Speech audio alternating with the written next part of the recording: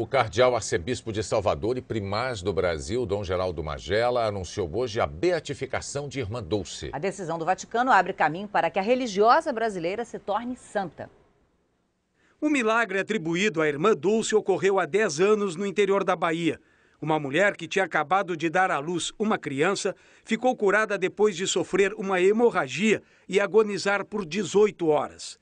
Os médicos já tinham inclusive avisado a família de que a paciente não resistiria e já tinham até deixado o hospital quando os parentes chamaram um padre que pediu pela intercessão de irmã Dulce. Quando os médicos foram chamados de volta ao hospital, acharam que seria para assinar o atestado de óbito, mas encontraram a paciente curada. Ele encontra a paciente acordada e agradecendo o que ele tinha feito por ela naquela noite. O milagre foi reconhecido por unanimidade por uma comissão de bispos e cardeais do Vaticano responsáveis pelo processo de canonização.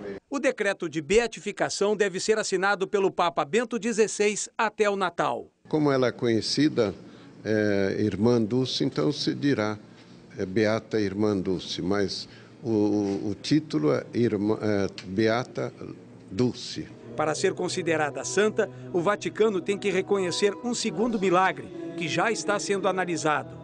Irmã Dulce, que morreu em 1992, é chamada de o anjo bom da Bahia.